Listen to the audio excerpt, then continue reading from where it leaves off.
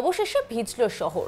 একশো একচল্লিশ দিন পর অবশেষে কালবৈশাখীর হাত ধরে স্বস্তির বৃষ্টি পেয়েছেন রাজ্যবাসী।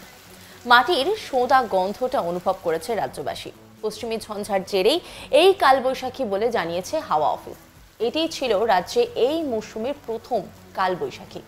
বৃহস্পতিবার ষোলোই মার্চ, রাত দশটা সাঁত্রিশ ঝড় ওঠে। আলিপুর এলাকায় ঝড়ের গতিবেগ ছিল ঘন্টায় পঁয়তাল্লিশ কিলোমিটার প্রতি ঘন্টায়। যদিও বেশিক্ষণ স্থায়ী হয়নি এই ঝড়।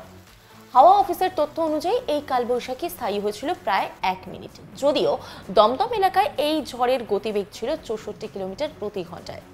কলকাতার পাশাপাশি হাওড়া, পূর্ব মেদিনীপুর দুই চব্বিশ পরগনাতেও বৃষ্টি হয়েছে। নদিয়া, পূর্ব বর্ধমানের কালনায় শিলাবৃষ্টি হয়েছে।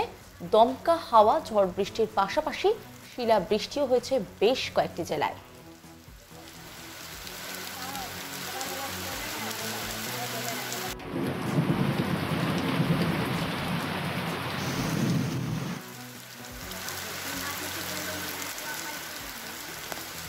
শুধু কলকাতা নয়, তার পার্শ্ববর্তী জায়গা অর্থাৎ নদিয়া, পূর্ব বর্ধমানের কালনায় শিলাবৃষ্টি হয়েছে। বৃষ্টি হয়েছে পুরুলিয়া, বর্ধমান, মেদিনীপুর, হুগলিতেও। আগামী মঙ্গলবার, অর্থাৎ একুশে মার্চ পর্যন্ত কলকাতা সহ রাজ্যের বিভিন্ন জেলায় ঝড় বৃষ্টি বজায় থাকবে। একাধিক জেলায় জারি থাকবে কমলা সতর্কতা।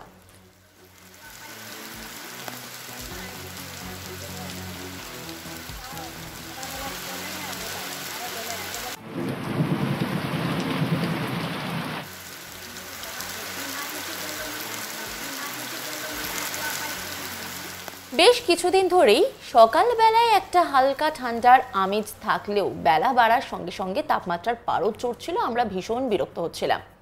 আপনাদেরকে এই পূর্বাভাস কিন্তু অনেকদিন ধরেই আমরা জানাচ্ছিলাম যে বৃষ্টি হবে, কাল বৈশাখী আসছে।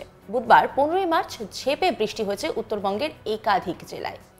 ঝড়ে ক্ষতিগ্রস্ত হয়েছে কোচবিহার থেকে আলিপুরদুয়ার, জলপাইগুড়ি। একদিন পরেই ভিজল দক্ষিণবঙ্গ শুধু বৃষ্টি বা কাল বৈশাখী নয়, শিলাবৃষ্টির সাক্ষীও হয়েছে বেশ কয়েকটি জেলা।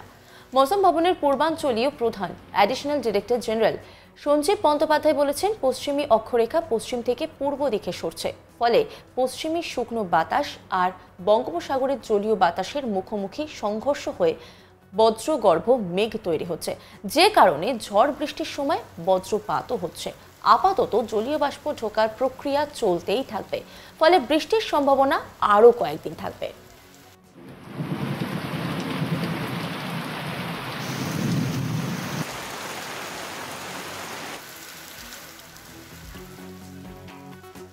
এই মরশুমের প্রথম বৃষ্টি কেমন লাগল আপনাদের? কারণ বেশ কিছুদিন ধরেই তাপমাত্রার পারদ চড়ছিল, বেশ গরম লাগছিল, তাতে আপনি, আমি প্রত্যেকেই ভীষণ বিরক্ত হচ্ছিলাম। তারপর অবশেষে বৃষ্টি কেমন লাগল?